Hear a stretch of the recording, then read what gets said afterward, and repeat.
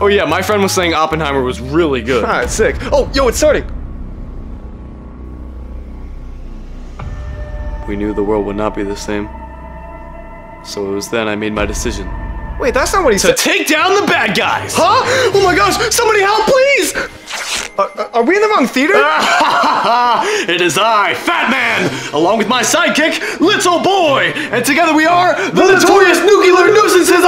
Nagasaki! What? It's time to hide. what are you doing here, Dad? You're both using your powers for evil. You must stop this at once! Oh yeah? How's this for evil? Pearl Harbor Haymaker! Well, what about this? Radiation rampage! huh? Particle Accelerator! What? Impossible! He's moving so fast!